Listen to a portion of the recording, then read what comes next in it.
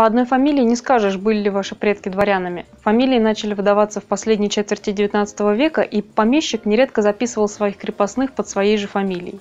Нужен обычный генеалогический поиск. Родители, деды, прадеды. Когда вы придете примерно к 1900 году, это 3-4 поколения назад, посмотрите внимательно на документы. Часто они сами скажут вам «дворянин», не дожидаясь вопроса. Ну или произведен в подполковнике, стал тайным советником. Эти титулы практически автоматом давали дворянство. Дети этих дворян считались дворянами только если родились после того, как папа стал владельцем такого титула. Хотя сейчас говорим о начале 20 века, а тогда проблема передачи титула отпала сама собой, к сожалению. Дворянские документы хранятся в нескольких местах. В областных архивах можно найти фонд Дворянского депутатского собрания, где будут собраны все дела дворян соответствующей губернии. Но дело учета высшего сословия нельзя было отдавать на откуп региональным чиновникам.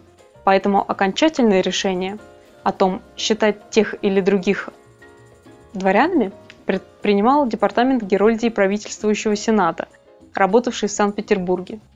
В Российском государственном историческом архиве в Санкт-Петербурге собрана коллекция дворянских дел, покрывающая всю Российскую империю. Если вы не можете найти что-то в своем регионе, надо поискать в РГИА. Там же можно найти красивые старинные дворянские генеалогические деревья, которые покажут 5-10 поколений ваших предков сразу. Если вам понравилось видео, ставьте лайки, подписывайтесь на канал. За помощь с текстами спасибо Кириллу Чащину.